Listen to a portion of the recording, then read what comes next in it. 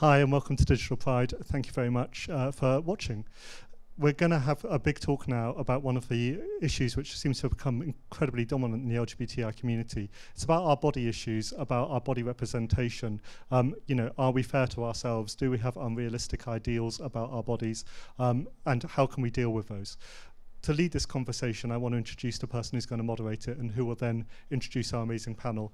That person is uh, an incredible advocate for LGBTI health, as well as being a very famous and handsome TV doctor, Dr. Christian Jessen. So, very well welcome, warm welcome to him, to our panelists, and to all of you. And Dr. Christian will take over. Welcome, hello everybody. We're talking about an unrealistic ideal of body image.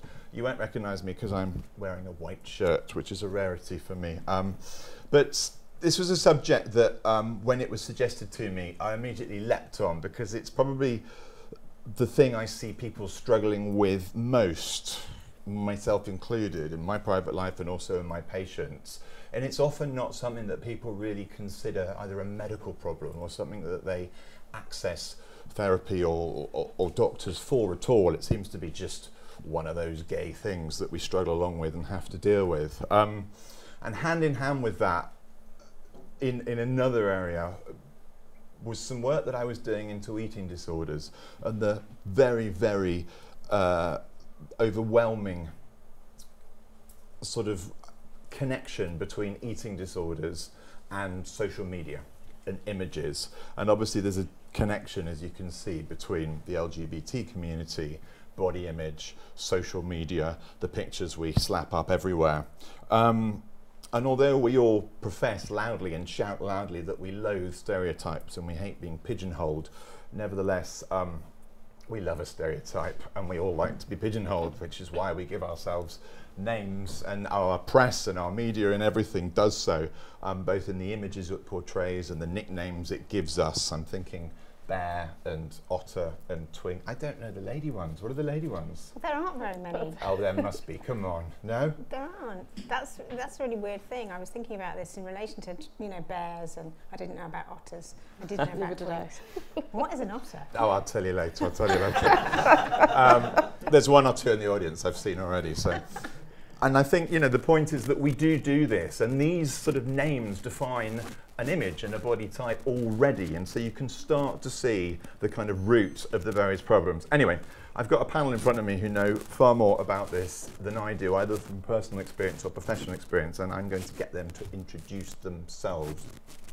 Hello, I'm Jane Czyzselska. I'm a counsellor and psychotherapist, um, and I used to be the editor of Diva magazine and I've been um, involved in and writing for and about the LGBTQI community for as long as I can remember. Hi, I'm Kayla Rose. Um, I am the co-founder and executive director at Blackout London. I am the media producer for UK Black Pride and I am an Arts Council uh, change maker with Duckie. And I've been in the community for a while. Uh, my name is Jonny Benjamin, and I am a mental health campaigner, a writer, and a filmmaker. And uh, I've got my own lived experience uh, of uh, mental illness. I was diagnosed with a form of schizophrenia when I was 20, which links a lot to struggling with my sexuality. I couldn't, I couldn't come to terms with my sexuality, and that led me to a, a suicide attempt. Um, and then it was only after I came out that things got better. So uh, the order of play is essentially I'm going to get each of my panelists to speak for three minutes, three minutes, three minutes, all right, um, on this subject, and then I'm going to ask you questions that I hope are pertinent to what you've just said, and also throw questions out to the audience if you would like to ask us anything. So I think John, you should go first. Sure. So I guess I came to this through my own uh, lived experience. Now I do a lot uh, with the community and I'm really concerned with uh, the level of mental health issues within within the community. That I mean, the rate of suicide, you know, much higher rate of suicide, and that's so. It's such a taboo. It's such a taboo, and I do think that the whole body image thing is is linked to that in, in some areas. I know for myself, you know, um, my my body image issues began sort of in my early twenties. Um, I had to because I was diagnosed with this form of schizophrenia. I had to start taking antipsychotics, and these antipsychotics made me put on loads of weight. Uh, I felt really self-conscious, and um, yeah, it impacted on things like you know when I was when I was dating in the community, when I was on things like Grindr, Gaydar, uh, people would make comments about my weight, uh, the way I looked, and uh, quite often, um, I'm sure anyone that's used these apps, people will say, "Oh, can I see a body pic? I want to see a body pic," and uh, people aren't afraid to tell you. In some cases, "Oh, you know, you you're a bit too fat for me," or quite body shaming, Mm. um, and I just, I just think it's really sad. You know, um, as I said, you know, we've got a much higher level of, of, of mental illness in the community, much higher rate of suicide, and yet uh, we, we should be uniting and supporting each other, um, but we don't. And, I, and yeah, I find that really sad. Um, and I just I feel that it's getting worse. I do feel it's getting worse. Um, at a time when we should be more and more united, because in the community we're seeing more and more um, mental health services cut. You know, things like PACE last year, which is just horrendous. More and more services being cut, and, and less and less support available. And at the same time, I'm seeing more and more sort of division in the community. More and more people um, sort of um, fighting against one another, and, and some of that has to do with how we look. A lot of it actually has to do with how we look and, and body shaming and things like that. Um, and it's something that I think we really need to change. Thank you. Um.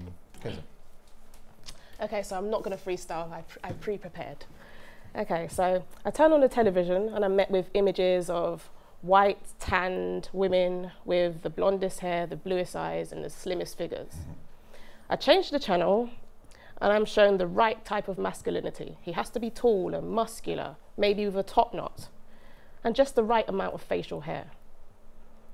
Flicking the channel again, and I'm seeing plump lips with just the right amount of symmetry in the face.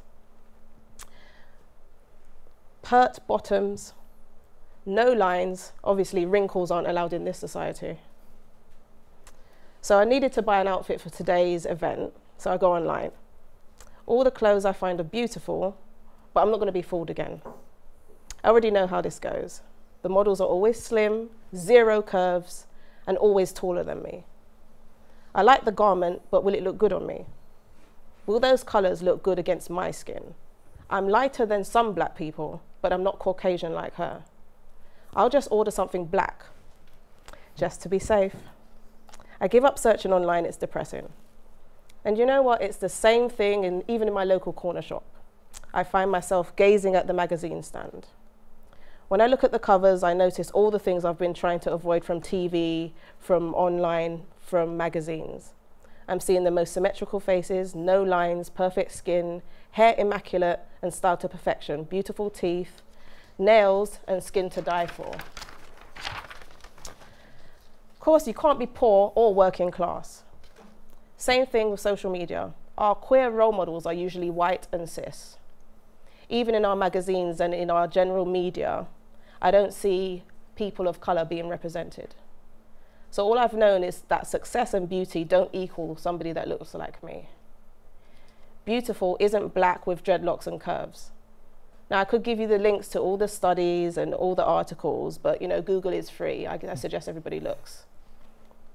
So I just wanted to ask kind of the panel actually, like, do you guys ever take selfies? Rarely. Rarely. And when you do, do you share the first selfie that you that you take? Do you take maybe three, four, five, six, the perfect angle, the Yeah, best looking skin? Actually, I don't really. I don't I love you use- for that. I do. I do. I take about five or six, And filters. pick the best angles. I don't do filters Ah, because everyone knows what I look like and I don't want to look so far. But do you see what I mean? It, it's actually um, crippling sometimes to try to look your best self, to try to look just as good as the models or the people who've been airbrushed. When you have your headshot done, it gets edited. That doesn't actually look like you. Mm-hmm. I think these are parts of the problems, and that's what I want to talk about today. Furiously scribbling. Thank you very much, Jane. Um, so women's fashion might, might be borrowing so-called lesbian fashion items with androgynous models and crew cuts, wearing DMs, baggy jeans, but only thin female bodies are allowed on the catwalks.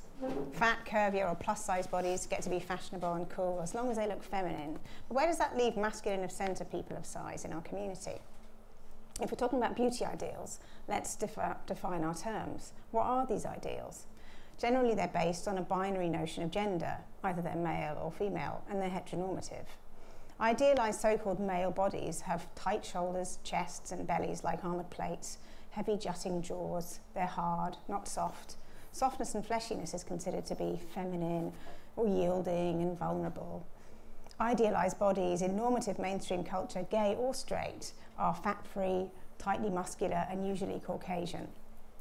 Some body psychotherapists use the term armoring, which is psychoanalyst Wilhelm Reich's name for the state of chronic muscle tension and emotional holding back, by which almost all adults in society are imprisoned. You see, as infants, we learn to tighten muscles, to hold our breath, to hold back on crying if we have repeated experiences of no one coming to feed or hold or attend to us. If the feeling we get from the way that we are, held is cold and dismissing. This emotional armouring, muscular tension, is something that becomes part of the baby's learned pre, pre-verbal emotional repertoire, and it can be carried in the body into adulthood. It's unsurprising to me that the idealised male physique, whether that's Tom of Finland or a leaner version, is one that fetishises this emotionally defended body type. It's a body that's prepared for battle, but it's a battle against itself. Body psychotherapist Nick Totton and Em Edmondson said that emotions are bodily events if they're blocked in the body, then they don't happen in the mind either. It's interesting to think about this in the context of emotional intimacy and the difficulty that many LGBTI people talk about in therapy. By the way, there's no shame in being armoured. On the contrary, it shows a skill and courage to survive in difficult circumstances, but it can also hold us back in adult life. Incidentally, idealised female bodies may be less muscular than male bodies, but they too are slim and toned and often white and cis. So there's no space created for bodies that fall outside of the white binary. So black and intersex and non-binary and trans bodies, all of which might carry some of the so-called male and female body characteristics are considered to be suspect or freakish or fetishized or objectified. Regardless of our gender identity or sexuality, we are all human body minds. The problem is that those who don't meet the required idealised physiques are often negatively judged, and if we absorb or buy into the privileging of these bodily ideals, it can have a corrosive effect on the psyche as well, which is what you were talking about. We know that surveys about LGBTI mental well-being show that we are four to eight times more likely to suffer with mental health issues as a result of the way we are stigmatised. And this is often because many of us in the communities don't meet normative physical and visual standards. We can't separate these Western beauty aesthetics from the socio-political structures of white cis heteropatriarchy, which seek to reproduce a hierarchy of bodies. This visual and physical hierarchy creates an environment where people feel compelled to compete with each other and against themselves, and this can cause psychic splitting or the reinforcing of a false sense of self. This false self is something that the child doctor and psychoanalyst Winnicott used uh, in the 1960s. And in a sense, it's a precursor to Reich and to Susie Orbach, who today extends Winnicott's account of how parental misattunement to the baby can lead to an inner splitting of mind and body, so as to cover the idea of the false body and a falsified sense of one's own body. The creation of this false self starts when the, when the baby's primary caregivers are unattentive, and so in order to get their needs met, the baby will adapt its behaviour, thereby creating a false sense of self in order to survive. Over time, the baby loses touch with its authentic and true self in adult life. This can result in a feeling of not really knowing who you are or where you end and other people begin. Boundaries are, are problematic. Are you being and doing as you are because you really want to or because you think it'll get you what you need? So although many of us believe that beauty is in the eye of the beholder, many of us also feel that we'll never meet those normative beauty ideals. Many of us actually might not want to, but are punished for it through verbal and physical abuse or shunning.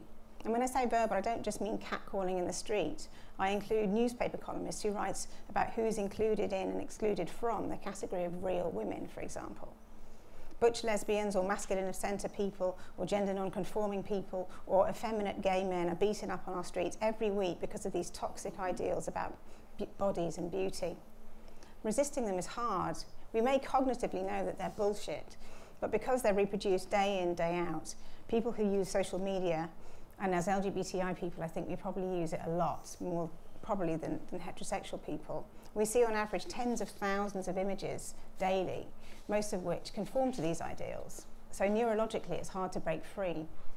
But I believe we can break free. There's some amazing work being done by fat activists, for example, many of whom are lesbian or bi or queer, like Charlotte Cooper and Stacy Bias, who would defiantly celebrate fat bodies, robusting the normative ideals through fanzines, activism, events, blogs, and by developing networks of supportive people. Likewise, there's a celebration of chubby bodies in the gay community, bears on the scene, for example, as Christian mentioned. But it's interesting that although lesbians have historically been assumed to be more accepting of body variety, there's limited lesbian equivalent of this on the scene. I'm, I can think of one club called Unskinny Bop, which is body diverse friendly club. But I think that having discussions like this, where we acknowledge that there's something harmful happening, where people can connect human to human rather than objectified body to objectified body, perhaps we can expand our sense of ourselves beyond being simply colonized bodies and to acknowledge what we share in common as creative humans who seek connection and love and desire. Perhaps we can take steps together, feeling more comfortable in our skin. Thank you. I don't know if any of you saw a play or have seen a play. It's just come back on called The Boys in the Band. Um, it's kind of a quite a difficult watch because it's fairly vicious, um, but horribly realistic. And I think anyone watching it has sort of experienced people like that or even been to parties like that. And there's a wonderful line, I think it's probably almost the last line of the play, where the lead chap is having a complete breakdown on the floor. And his line is something like, if only we could all stop hating ourselves quite so much. Mm. And that's what makes the play for me quite so brilliant because it sort of is the uncomfortable truth that I don't think many of us really do. Mm really like ourselves that much. Um, and I think that is an important part, an important thing to consider when we're considering this topic. It's just one more thing um, to throw into the pot. But I'm feel a little bit like between a rock and a hard place, especially with body shaming and fat shaming, because the medical community says fat is unhealthy, and you know, and so I'm constantly sitting there in clinic advising people to lose weight, which mm. clearly doesn't help the whole body image feeling good about and mm. celebrating your weight thing. Jane, what do I do about that? Well, there is actually um, an, a different approach, perhaps a third way, um, which is called health at every size, um, which um, acknowledges differences in body shapes and not everybody, um, you know, every uh, thin body is a healthy body, um, and focuses more on body acceptance and body movement and the joy of movement, but not really conforming to a particular kind of body shape. Um, Surely the goal of that, though, is to lose weight, is it not, at the end of the day? I don't think it is. I think it's about just keeping, being comfortable in your body, feeling active, being fit, because there are so many useful aspects to being active, not just losing weight. I think we sort of tend to kind of always focus on weight loss. Um, regardless of whether we're LGBT or straight. Um, but I think there are so many other um, joyful things about being active. You know, people do yoga because not because it's going to necessarily lose, lose weight unless they're doing hot yoga or you know that that really powerful one, um, Ashtanga. Um, but because they can feel themselves and they can you know they can get they can feel their bodies and, and it's a good way of becoming more embodied. You know, if you've lost sense of your, you know, if you if you tend to sort of live in your head rather than feeling your body, then that's a really good way to get in touch with yourself. So it's not always about weight loss. It can be, um, but I think the BMI um, measure has been discredited, um, and uh, in many circles, maybe not um, where you're working, but I think that um, you know certainly a kind of critical approach to that. And you mentioned about the sort of the the buff male is sort of armoring himself, and you said to do battle but with himself. Is it not to do battle with the rest of the world and, and the the criticism he has always had to put up with, or the feelings of insecurity that come from the outside world, and the fact that he sees no role models or didn't when he was growing up? I'm talking for myself here. I think that I think that we can, you know, as as babies, um, we can introject lots of bad things and, and, and think of ourselves as being bad because it feel it makes the outside world safer. If we think that we're at fault then we can control um, what's happening in ourselves. Whereas if we if we imagine that the outside world is dangerous then that's even more scary. So I think that um, there's a there's um, maybe a sort of confusion about whether or not we're um, taking in bad feelings or projecting bad feelings onto other people. And I think that's the kind of thing that um, I explore, you know, with people in, in the therapy room about how much have they taken on from the outside world and how much um, are they thinking that they're at fault. There's a huge amount. I'm going to come to you in a minute, but I want to because it leads straight on to you, which is um, what you were saying about comments you would get about how you looked, particularly on sort of dating apps and things. Um, and it just made me think: Is it clearly we fancy some people and we don't fancy others? I'm going to talk in sort of very Mm. base terms here. True. Uh, how do you turn someone down? What would be the right way? You just it's the way that people do it. It's so vicious. It's so vicious, and I'm seeing it more and more online. Um, so I'm a, I'm a vlogger. I make YouTube videos, and more and more people are commenting on uh, because my weight fluctuates because of the meds that I take. You know, when I'm on a high dose, if I'm not well, I'll put on more weight because Mm. yeah. But and, and the, comments that I get about oh you really need to lose some weight or oh you're getting really chubby. Um, I don't know. It's just it, why the need? Why the need to to comment on that? And that'll be the only comment. You know, it's not like oh yeah, I took this point and this point in the video was really good or or, or really interesting. It's just like you're it, you're you're fat. Do you know? I, it's so um, it's so unkind. You know, it's, and it's obviously an insecurity within themselves, of course. But um, and and the sad thing is, I'm kind of used to it now, which is quite sad. But you know, I worry about you know younger people. Uh, well, not just young people, uh, people of all ages, but people that maybe because I've got a lot of support around me, but people that don't have support, people that don't have people to talk to about that and, and have reassurance. You know, it's okay, don't worry. Um, people that are just on their own. I mean, there's so much uh, sort of cyberbullying. Uh, it's just, just, and, and a lot of it is to do with the way people look and, and particularly their bodies. I see it all the time on, on things like Twitter.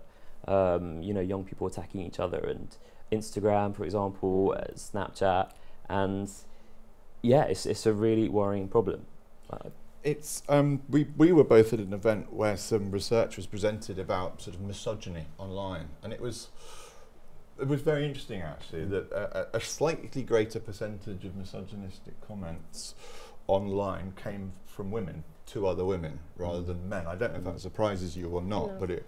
Um, and I think you can almost sort of extrapolate that, not quite scientifically, but I suspect you know much of the hate experienced by the gay community I've seen comes from other members of the gay community. There's a lot of internalized homophobia. What do we do about that? That's an open question to you all. You do. I haven't asked you a question yet. Well, that's a very interesting question. I don't think that there is any one answer because there, there are many problems within our community. Um, you know, racism, misogyny, um, bullying of any kind. Do you think it's worse in the LGBT community than it is? I think it can feel world. worse.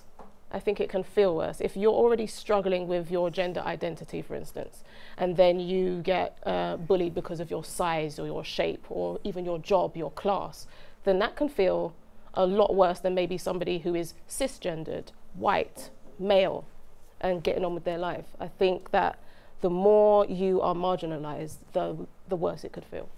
But what can we do about it? Well, these discussions are helping, I hope, you know, to talk more and to listen. And so, for instance, if I say, you know, uh, blackface is racist, um, and a white person says to me, well, it's fun, get over it.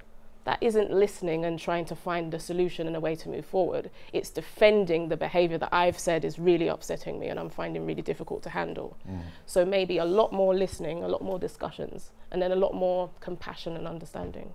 You mentioned quite rightly the, the selfie and then the well you don't but the um the whatever you filters. call it the filtering Yeah. I still call it Photoshop because I'm old but the filters um, and that is a massive problem Yeah. actually and there was a very good little short video clip made by a charity called Ditch the Label which was sort of the truth behind the Instagram selfies it was very clever you saw the person taking the selfie with their smoothie walking down and then you saw him chucking the smoothie away Yep. and going into the. Yep. it was really good I thought and very Absolutely. pertinent but I can't see that going away I can't see gaydar going away and the comments going away so how do we how do we sort of empower arm our young LGBT people to face that more realistically? Is it possible to do that? I Jane, saw yeah, something sorry. actually. Sorry, no, you I saw something on the way here. Um, it was an article, um, and if I can find the link, I'll share it. Um, but it was about uh, women who had had children and who felt inferior to other women who seemed to just snap back into their old figure and didn't have stretch marks and didn't have any of these weight issues. Um, and this woman said, you know, I felt awful about the way that I looked after I had my child. I thought I would snap back. I was healthy. I went to the gym. I didn't understand why. And so what she did was took to Instagram and showed people how difficult it is to maybe, and you may never get back to your original shape after having a child. So I think maybe we could share our struggles in a more realistic way. I don't know that I will be, um, you know, uh, sharing my first selfie that I take. I don't know if I'm that confident yet, but um, I do try to speak about some of my struggles, about having social anxiety, and um, so that I can let people know that I don't think I'm perfect. None of us are perfect. But I think the more of us that do that, that's, that say, look, we're not perfect, and this is how I'm not perfect today, is the more people may think, oh, actually, you know what? If they're not perfect, then it's okay that I'm not, because none of us are. I tweeted Beyonce actually and asked her to post a picture of her post-baby body, Oh. warts and all. She didn't reply. So Beyonce, please, it would help a lot It of would women help. everywhere. But yeah, that would be a It would miracle if she It- did. oh my it? gosh, it would be amazing. Um, Jane, any thoughts on that? Yeah, I mean, I think that when it comes to internalized homophobia, um, I think that you know feelings of shame about being gay or lesbian or bi or intersex or trans um, are like the weather. You can't really argue with them. They're there. They need to be talked about. Um, and so I would encourage people to speak about the feelings they're feeling and then to really um, try and allow them just to surrender to them and to, and to because people feel shame about having the shame as Mm. well Mm. and just think I, I shouldn't you know I'm out on the scene I'm living Mhm. my gay life you know I'm out to my I, but yet I still feel this shame and I think that very few of us I, I, I don't think I've met one single person from our community who does who, who becomes away unscathed because we live in a so- society that still privileges heterosexual people.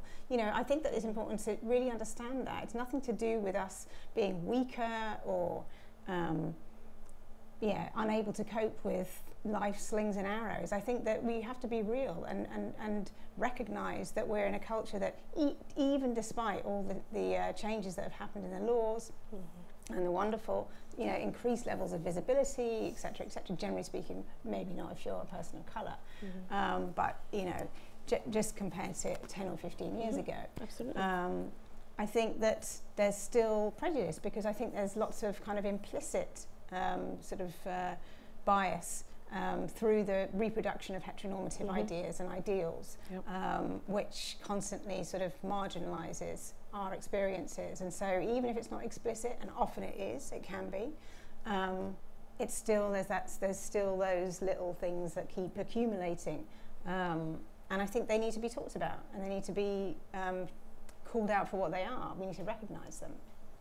There's an interesting school of thought that says, for lesbian, gay people, probably less so for bisexual people, that the body that you see in the mirror when you look in the mirror is the sex that you are attracted to, and therefore your critical eye that's appraising that body is so much more critical and, and more critical about much more, say, particular things. What do you think of that theory, all of you?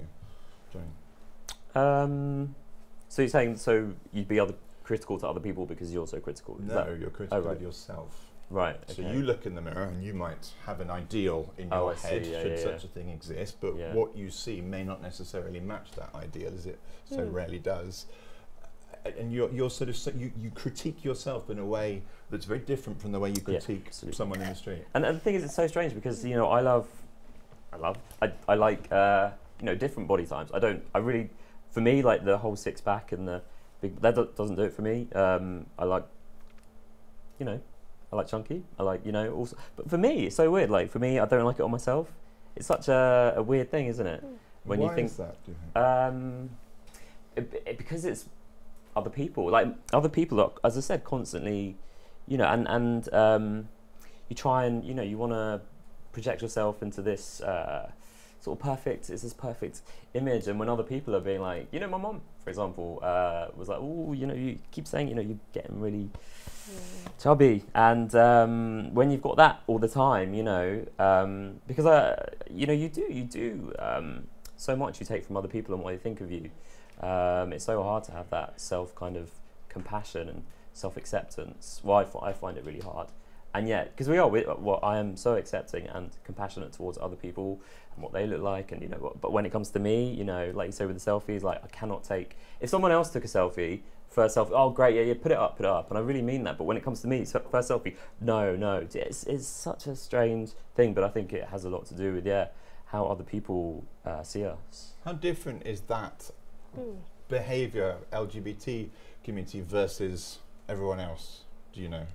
I mean, I, w- I wouldn't know. I can only speak from personal do, experience. do. Um, but for me, um, it was a very long journey to accept myself, the way I look, the way I speak, um, what I like, what I don't like.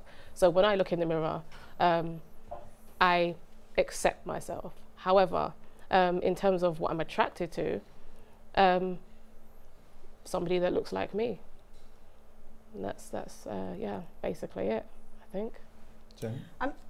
It's difficult to say with any degree of certainty about whether or not LGBTI people sort of suffer in, in the way that you're, you're describing more than straight people. But certainly, you know, the heterosexual people I've had as clients um, have um, talked about um, difficulties with their body image as well.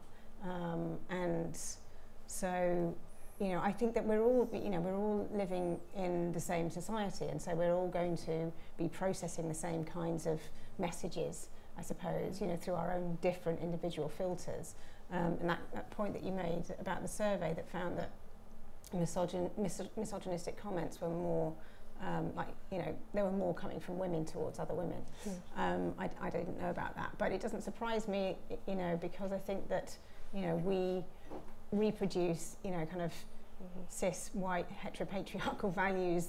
You know we try and resist them we're aware of them but we can't help it. That, I mean, that's why there is ma- there are as many LGBT people who suffer um, from domestic abuse than there Mhm. are you know in the heterosexual community as well. You know the, the figures are the same um, unfortunately.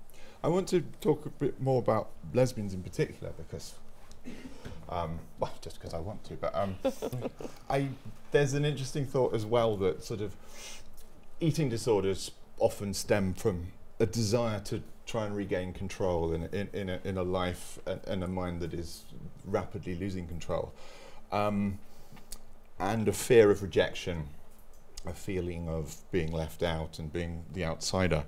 Um, and I think young gay men suffer particularly from eating disorders, and I think it's less so for lesbians. But I wonder why that is. It'd be interesting to try and work out why, because I think if we could do that, it might give us a clue, more insight into what we could do about it. And one idea is that, well, for a woman to walk down the street in a pair of trousers, no one will bat an eyelid because that's entirely normal. But for a boy to walk down the street in a dress, Mm-hmm. will attract comments. Mhm. Is that part of it, do you think? What the- Interesting. Didn't lack say I'd ask you easy questions, by the way.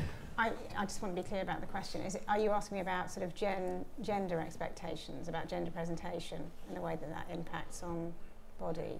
I'm asking, is it true that lesbians are affected less about concerns about their body image? And why? I don't, I don't know if it is true. I don't have any I don't have any statistics, statistics to, to. kind of yeah. Um, fall back on for that, I'm afraid. Um, but uh, I think that some, um, you know, maybe maybe some lesbians are more likely to be more accepting of other women's bodies because they've seen so many and um, and and they know that there are so many variations. Um, but then that would be the same for gay men, wouldn't it? So, I mean, I'm just talking about the difference between male and female bodies, and um, I don't really know. I don't think I can answer that question. No, okay. It's, it's, I don't know if there is an answer, actually, but Yeah. I want to. I'm going to ask the uh, audience some questions, but I want to sort of return back to the actual title of this debate, which was "Are unrealistic ideals of body image killing the LGBT community?" And I want to sort of focus on that word killing. That may have just been a random um, choice of words by a sub editor somewhere or by Tris, Mm. but it seems to me very, very pertinent and powerful a word because I think it's I think it's right. I think it is killing either through drug Mhm. use, through suicide, Yeah. through all sorts of things. Mhm. Can I hear each of your perspectives on that, on those thoughts? And now I'm going to ask some questions to the audience. Yes, well, for me, I think it's, uh, as you say, addiction, suicide, but also killing is in uh, getting, uh, dividing the community more and more and Mhm. more. I, f- I really feel, you know, when you look at something like last year, you know, what happened in Orlando, really brought the community together, I felt, Mhm. for like a few days. It was, it was really moving, I thought, you know, when you saw sort of in, in, in Soho, people coming together in, in unity and support, it was really moving because it's so rare. Um, and then that just lasted a few days and then it's back to kind of, Mhm. you know all the division all the all the kind of fighting that seems to always take place i mean look at kind of uh, the comments people have been making i I see it more and more about um, the bisexual community. You know for example obviously uh, christopher biggins got chucked out of big brother house for what he said about uh, boy george made those comments a few months ago. It's like come on guys like what what's going on? Like we should be supporting and uniting. And um, you know we're, we're facing huge problems both from with outside but also from within the community. So I do think, yeah, um, the community itself is, I don't know, it, it, it needs to be brought together. We need to be more united. And I think, you know, we all need to be a bit more vulnerable. Um, I'd love to see, you know, organisations like Stonewall actually kind of, because Stonewall, you know, some of their campaigns have been so powerful. Look at what happened, you know, we've got equal marriage now. Um, and yet we've, we've got equal marriage. And yet I, I do feel, yeah, the, the community is just sort of disbanding. You know, it's becoming more and more um, divided, and you know these unrealistic um, expectations uh, is is a big part of that. It's really sad. Kayla? I think it's um, it's interesting because for me as a black woman, I don't really see myself anywhere as a, a beauty standard. So I've had to set my own. Having said that, I think um, speaking about things like Orlando, where the entire community came together, was a powerful thing. However, I think we need to stop being so have such a romanticized idea of what the community is and how it feels for each member of that community. Because although it's fantastic that we can come to spaces like this, and thank you, Tris, for um, organizing this um, and the Gay Star News uh, team. But I think we need to be realistic, and I think we need to be realistic also about how much work needs to be done, how many conversations need to be had. We can't just have this one panel or one terrible thing that happens to bring us together and say, oh, well, yes, oh, we're one great big community and we're all happy. Because that's not true. But acknowledging that it's not true is part of the steps that we need to take in order to move forward and say, okay, there are, are unrealistic beauty standards and it is killing the community, but that isn't the only thing killing the community. And we need to come together more to talk about these things. So maybe the community can be alive and well and happy. Jane? Yeah, I mean, I think that um, beauty standards alone are not killing our community. I think prejudice, um, you know, perhaps precedes that, and you know, the beauty standards, um, you know, which we also inherit from, you know, within the general society we live in, um, compound that, um, and we we need to address them. I mean, we, and, and as Jonny was saying about the, you know, it's killing our spirit, it's killing our Mhm. connectedness, um, and our, our killing our desire. You know, um, we're and to the point where you know many of us, uh, you know, not myself, but you know, many many people in our community are you know involved in chem, chemsex and all sorts of um, you know what, drug use, um, which c- cuts things off. You know, which kills which kills real, true, authentic connection. Um, and that's really that's really heartbreaking to me that that's happening. Um, but I think it's you know I think what's happening to us is multi-causal. I think we need to really kind of um, look at the complexities of what you know the kinds of um, messages we're being given, that we're, we're, we're reproducing, that we're taking in, that we're believing. We need to pick them up, pick, pick them apart, um, and do it with love, and do it with an open heart, um, and allow more vulnerability, um, and um, open up to that, because I think that that's where um, solutions lie. Um, why do we hate each other so much? Why do because we we do ourselves? as a community, don't we? Yeah. And I think more so than any other community I've encountered or talked to, we really seem to dislike our various subgroups. I think the word chemsex that you brought up was a very good example of where it was a very real phenomenon and yet was sort of used in this very, I think, stigmatizing way to label a group of, I think, very vulnerable people. And I, I, I found it, it infuriated me actually when my colleagues would write about it in this sort of mm. It's kind of hard to put into words, but it was, it was sort of uh, it was this sort of group of no hopers that were sort of and, and and you know it would come from our own community. Why is that? Do you think? Why do? Is it because we are so insecure we just want to see It's somebody who is possibly worse off than Yeah. ourselves? I think it's projecting. I think if you're very unhappy with yourself, very insecure, then you find ways to make it. I mean, it's like the school playground when you're five or six. You know, the, the person who's being abused at home or having a terrible time in their personal life in whatever way, that you find them, they're the bully. They're the person that's making somebody feel bad for not having the newest clothes or the name brand shoes and things like that. So I think maybe it's not necessarily a case of hating each other, but more hating ourselves. What can we do about that? Yeah, no, I completely agree. I completely agree. I also think, you know, just the whole process of realizing that, you know, you might be uh, LGBTQ and then, you know, having to address that, having to come out is so traumatic, is really traumatic. And often we don't deal with it, you know. Um, we, we come out and expect everything, you know. I remember when I came out, it was like, everything's going to be great now. And for like a few weeks it was. And then it was like, uh, no, this doesn't solve everything actually. But actually, that whole process was so traumatic, especially with you know, because come from a Jewish background and having to deal with that and come out to you know the Jewish community was so hard. And uh, I didn't process that kind of trauma, and I think a lot of people don't press, process that trauma, and it comes out as as as hatred. You know, it comes out as attacking attacking each other. Um, and people just want to bury that whole kind of their past, you know, cut that whole struggle to come out. And actually, we need to be addressing that more. I think, you know, we need to be working through that that trauma, that difficulty that was coming out.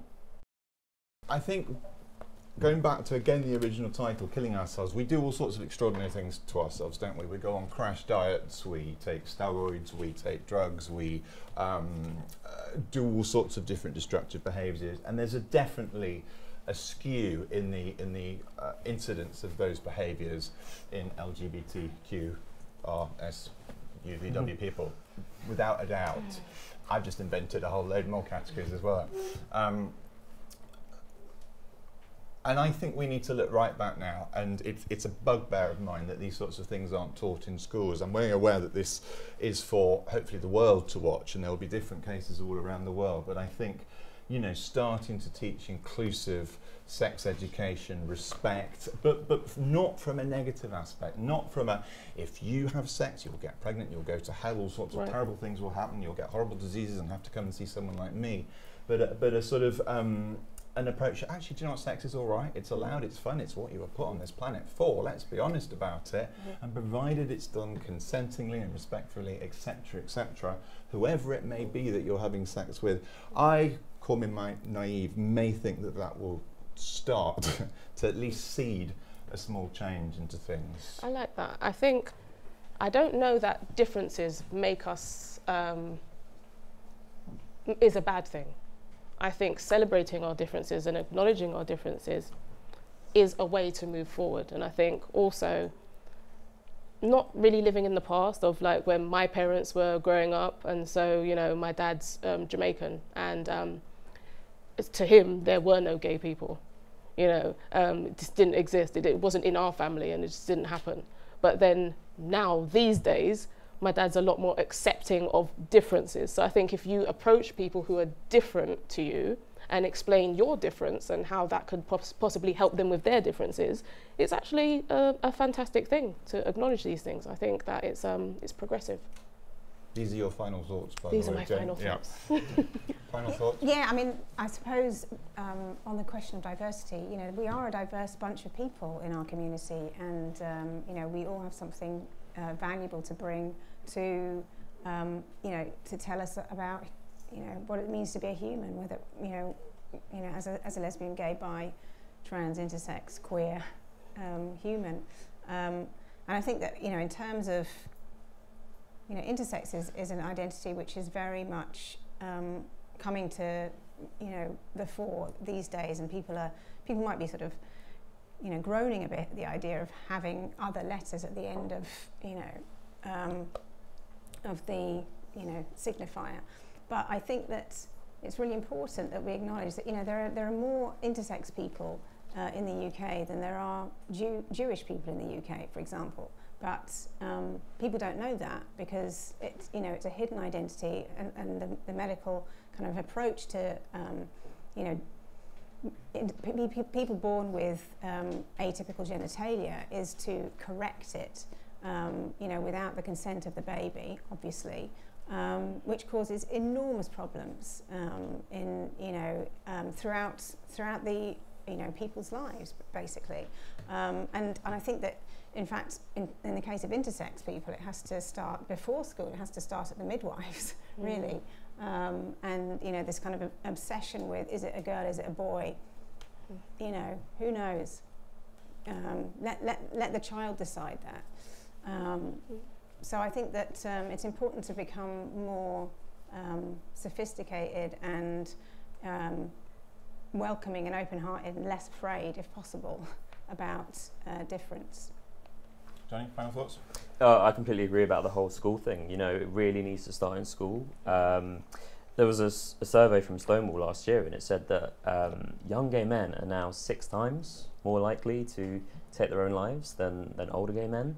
Um, and, and rates of yeah mental illness, suicide in the young LGBTQ community are just horrendous, and it's getting worse. You know, you would think, uh, you know, we've had advances like you know equal marriage, things would surely you get better, but uh, they're getting worse. So it really does need to start. There's so much pressure, I think, on, on us all as a society now, but more pressure than ever before on young people, and um, they're really struggling out there. So I do think it needs to start in schools. And my final thought, final final thought is, um, I remember when I made the documentary about gay cures and tried to rid myself of this affliction of being gay, and it failed dismally. But mm. I went to talk to my father about his view on me being gay, and I said to him, "Were you disappointed when you found out I was gay?" And he said, "Yes." And I said, "Why?" And he said, "Because I knew life was going to be so much harder for you." Mm and it nearly made me cry, but I managed to hold it together. And actually, life hasn't been too bad for me, but I am very aware that life for other people all around the world is so, so, so much worse. And if this and DigiPride and everything else just helps a tiny little bit to improve things, it's those little tiny changes that soon add up to big results. Thank you all for coming very much. Thank you so much for watching this. I hope you found it interesting and we would very much like to hear your comments and you can even ask questions which some of us on the panel will promise to answer for you. Thank you.